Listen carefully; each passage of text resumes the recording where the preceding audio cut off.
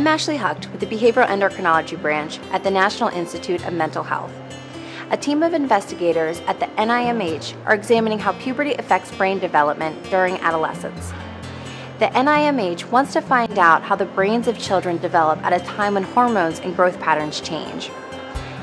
The study is a collaboration between Dr. Peter Schmidt, Chief of the NIMH Behavioral Endocrinology Branch, and Dr. Karen Berman, Chief of the Section on Integrative Neuroimaging and the Clinical Brain Disorders Branch. Also on the team, we have Dr. Pedro Martinez, a child psychiatrist, and Drs. Xiaoming Wei and Catherine Redding, Neuroscience Research Fellows. I'm joined by Dr. Peter Schmidt, who specializes in the role of hormones on mood and behavior. So, Dr. Schmidt, let me start with you. What is the purpose of this study and what does it involve? The question we're trying to answer in this study is what would be the role of puberty, in particular, the activation of the hypothalamic pituitary gonadal axis, which creates the uh, adult functioning testes in boys and a cyclic ovarian cycle in girls. Uh, what is the effect on that, those events on brain development?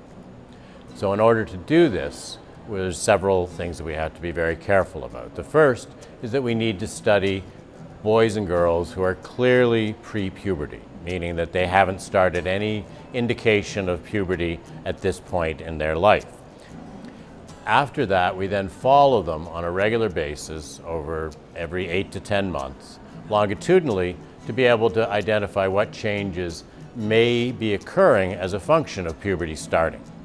So uh, the second issue is that each of these clinic visits, we perform brain imaging studies to measure changes in specific parts of the brain. We also, at each clinic visit, measure hormone levels by taking blood samples we also collect urine samples and saliva samples to measure some of the stress hormones. And finally, we ask questions about symptoms, whether it's related to their sleep, whether it's related to anxiety symptoms, or uh, a variety of other measures. You've taken the lead to coordinate what I suspect is a major logistical undertaking working with the children and their families. The children and their parents are invited to come back to the outpatient for clinic at the National Institutes of Health every eight to 10 months. Um, we do this until the, the children reach the age of 17, which is a big commitment for everyone to participate in. But the amount of time and commitment that these families uh, spent on this project is, has been very important and very rewarding. What are the tests you use in the MRI to measure brain development and what does this tell you? So the children come in once every eight to 10 months and they spend about half a day in the clinic. Um, but we also use several neuroimaging tools to understand, uh, to gather important information. So for example, we use wrist x-ray to understand bone, bone growth over time. We also use MRIs to look at brain development, to look at changes in fat distribution in the abdominal area, and also the growth of testes and ovaries across time. We know from studies in animals that several important brain circuits go through dramatic changes during the pubertal transition. So we designed some games that children can play when they come visit us.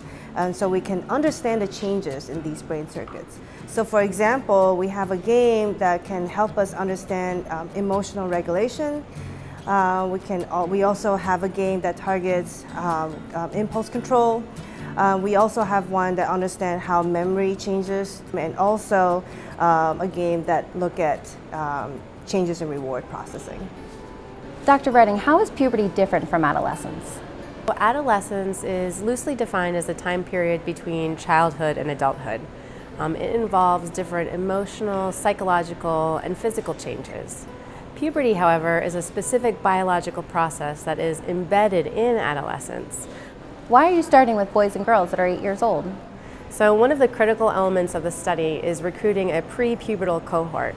So by bringing children in at eight to nine years of age, we're more likely to recruit kids that are pre-pubertal. In addition, by bringing in children that are eight years old as opposed to say six or seven years old, we're also getting slightly more mature children, which for us will mean that they might be better at doing some of the neuroimaging tasks which are very difficult. Oftentimes you have to stay still for long periods of time, and older children are a little bit better at staying still than younger children. I understand that the children have an appointment with you every nine months. Why is it important to complete a physical exam and assess pubertal development at each visit?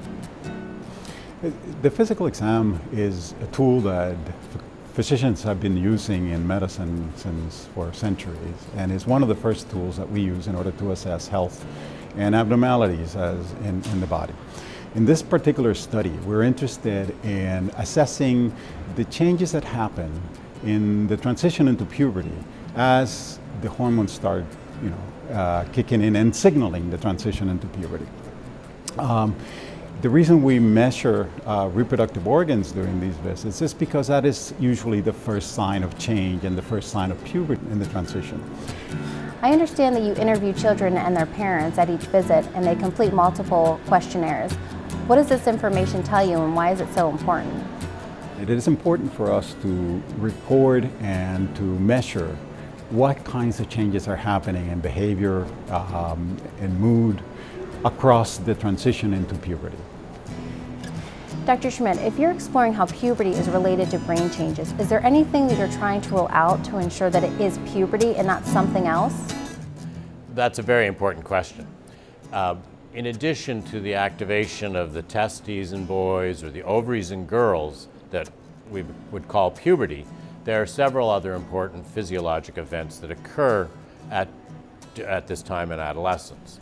Specifically, adrenarche, which is when an element of the, or a section of the adrenal cortex, which is the gland that produces stress hormones, uh, suddenly becomes active and starts producing hormones that have a testosterone-like effect and obviously could impact on brain development. Second physiologic system that develops is the growth hormone system and related to the growth spurt. Both boys and girls go through a growth spurt where they um, have an acceleration of their normal growth, growth velocity, and this is under the control of several hormones, all of which may impact on brain development. So it's important at the end of the study that in each child we have a measure of when these milestones occur, and then we can look to see what their impact may be on the neuroimaging measures that we're, that we're uh, obtaining in these children. Second uh, important element is that we need to recruit a group of healthy adults who are young adults who presumably are not undergoing any of the major changes that are happening uh, hormonally in the children. And we scan them at a similar period of time in order to get a measure of what would be the effects of just time as opposed to puberty on these same brain measures that we're collecting. Finally, it's important that we recruit both boys and girls. And in fact, at this point, we're looking for more girls to recruit who are in the eight-year-old group in order to be able to identify at the end whether there are sex differences and whether these sex differences in brain development occur at different times or are under control of different physiologic systems in boys compared to girls. Why is this information so important to NIMH? Adolescence is a time where we see dramatic increases in neuropsychiatric illnesses. And the emergence of sex differences in several of these conditions, including anxiety and depression. Uh, we also know from studies in animals that several important brain circuits go through dramatic changes during this critical period. And finally, by understanding what normal development looks like in healthy children, it'll help us understand why or how these sex hormones affect children at risk at acquiring these diseases. Will the children's names be published in papers? No, they will not. The children will remain anonymous in these studies. Is compensation provided? Yes, compensation is provided every time they come visit us.